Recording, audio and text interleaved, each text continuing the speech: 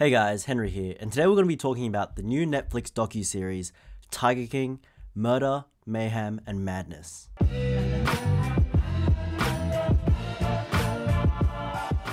I've just seen the series and read up on a few things and wanted to discuss what happened to the people involved after the end of the series. Tiger King has been an absolute hit on Netflix, and this show has captured so many people's attention. It's a mix of an insane unfolding story involving a feud between Joe Exotic, an eccentric Tiger Park zookeeper who blows stuff up in his spare time and makes music videos and web shows as a side hustle, and also ran for political office, and Carole Baskin, who is the owner of, of a big cat rescue sanctuary, who suspiciously inherited millions after the disappearance of her millionaire husband. And she is on a mission to shut down tiger breeders and tiger zookeepers, such as Joe Exotic.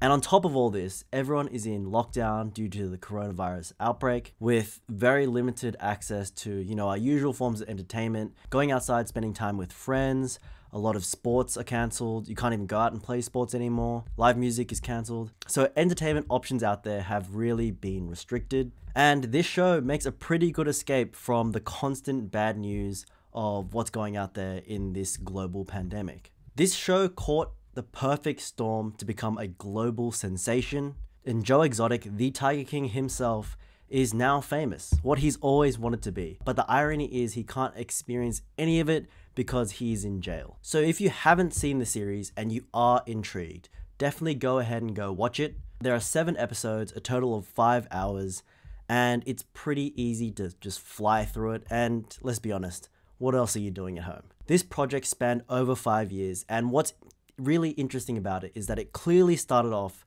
as a specific project, sort of exploring, you know, th- this tiger culture in America, and it just kept expanding and unfolding as the people followed these interesting characters that were involved in all of this. And it just evolved into a completely different beast. Less so about the cats, and more so about the big egos and personalities that wanted to use those cats for their personal gain. It is a roller coaster of a series to say the least. In this video, I want to look at the aftermath, what happened after the end of the series, where the people are at now. Um, so there will be spoilers ahead, and you have been warned. Joe Exotic was convicted in April 2019 and sentenced in January 2020 and has been in federal prison ever since. But he's not sitting on his hands and he maintains his innocence and has filed a lawsuit seeking almost $94 million in damages against the Department of the Interior, a prosecutor, Jeff Lowe, the guy that now owns Joe Exotic Zoo, and a bunch of other people, claiming that he was the victim of discrimination as an openly gay male with the largest collection of generic tigers and crossbreeds. Somehow, Joe's Facebook page is still active and he is posting on it asking for help, even pleading to President Trump asking him to pardon him. But he has vowed from jail that his feud with Carole Baskin is over. Carole Baskin, who runs Big Cat Rescue, a non-profit sanctuary in Florida, has disputed several of the misimpressions that the show has given off about her sanctuary and has criticized the show for being salacious and sensational, and depicting her in a way that almost insinuates she murdered her husband. She says generally only 20 visitors are allowed on the sanctuary property at any one time, and the sanctuary does not operate like a zoo trying to attract as many visitors as possible. The size of the animal enclosures aren't just tiny cages, and the smallest of the enclosures is actually equivalent to the size of a small house. The salaries of their workers as well, they're not just all volunteers, they actually pay them between 30,000 to 60,000 a year. And all that money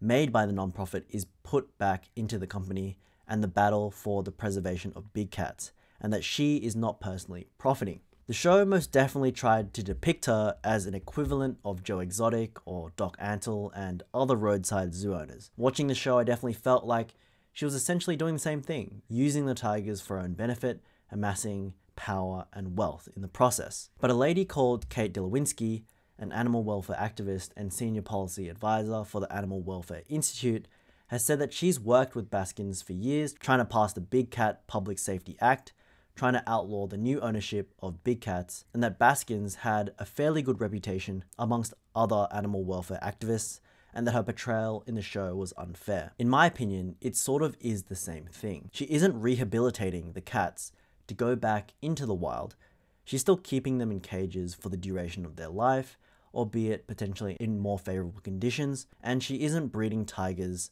for cute cub pics, so I'll give her that. To be fair to her, the show did really focus and hone in on the disappearance of her husband and really gave the impression that she was on par with Joe Exotic, but had somehow brainwashed people into thinking that she was a saint, making the show more about the big personalities and sensationalizing their feud rather than really discussing animal cruelty. She does say that the people that they've interviewed had no credibility, but they literally interviewed his lawyer and his family and people that worked with him. So I don't know what that really says about her comments, but I do feel like, you know, there's a lot of evidence pointing in her direction, although not directly, but I think it sort of makes sense when you connect the dots yeah, he's still missing. And as I suggested, I do think Carole did it. I don't know if she fed him to the tigers or pushed him out of plane or whatever, but I feel like the change in the power of attorney and the change to the will was just too suspicious. And that really just confirmed for me that she was definitely involved.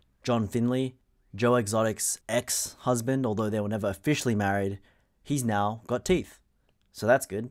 Jeff Lowe, he's now found himself on Cameo uh, I think it's a thing where you can pay celebrities or B-list stars or whatever to send you a personalized video message or send your friend a personalized video message. But he has four open cases in Las Vegas Municipal Court. I think a lot of people are interested in seeing what happens to Jeff Lowe because he definitely came off as extremely scummy in the documentary. Apparently, there will be one more episode of Tiger King hitting Netflix. Jeff Lowe actually dropping this news in a recording he made on Cameo saying that they're filming here tomorrow. So it seems like we will be getting an updated dose of Tiger King really soon.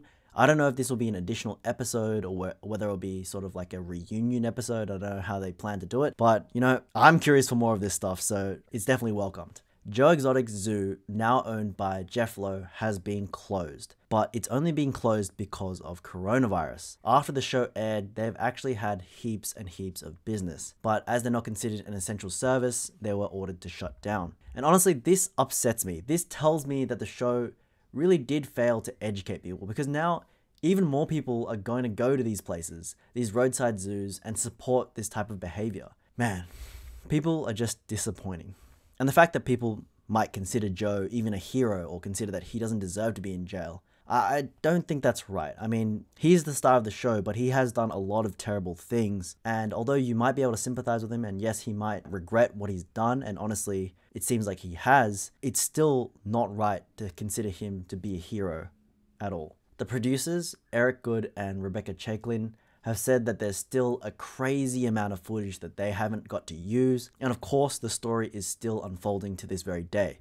So they definitely have not closed the door on a potential follow up season, and I'm assuming that's probably going to get greenlit considering the success of Tiger King. This show is also going to be brought to life by Kate McKinnon and the team at UCP, Universal Content Productions, with Kate McKinnon executive producing and also playing the role of Carole Baskin. So far, it's early days and the project is still in internal development, but Carole Baskin has already asked for the use of CGI tigers instead of real ones. Judging by the success of this docu-series, I do expect that people will be tuning into this mini-series and people will be waiting excitedly for the premiere. I don't really know what angle they're going to take, whether they're going to be more sided with Carole or more sided with Joe Exotic or spin it and make it more dramatic, but hopefully it does justice and actually talks more about the animal conservation that this docu-series failed to do. I think it just adds more fuel to this fire that is the Tiger King, considering all the people talking about out there on Twitter, considering all the podcasts going on about it, considering I'm making this video right now and other people making similar videos.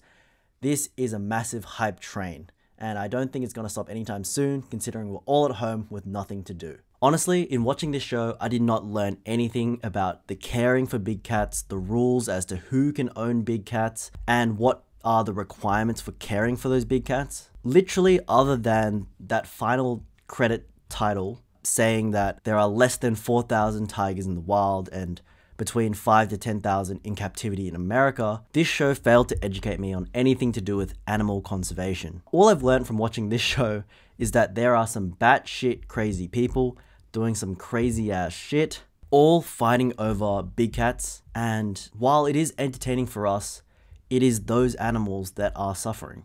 Thank you guys for watching this video. If you liked it, please be sure to give me a big thumbs up. And if you want to see more content from me, please be sure to hit that subscribe button down below. Let me know in the comments what you thought of this series.